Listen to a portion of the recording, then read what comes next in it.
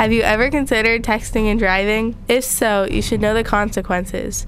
If caught texting and driving for the first time, you could get an $100 fine plus your license taken away for 60 days. The consequences only get worse the more you get caught.